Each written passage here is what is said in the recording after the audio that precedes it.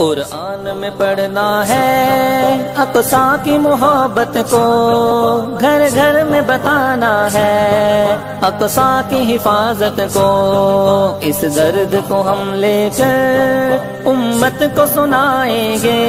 तारीख फलस्ती हम घर घर में बताएँगे। अकसा की ज़मीन को हम सब मिलकर छुड़ाएँगे।